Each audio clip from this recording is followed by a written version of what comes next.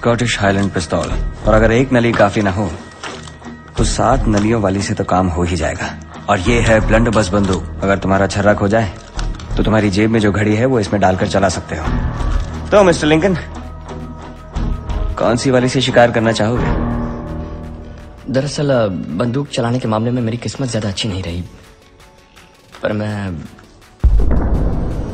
कुल्हाड़ी चला लेता हूँ।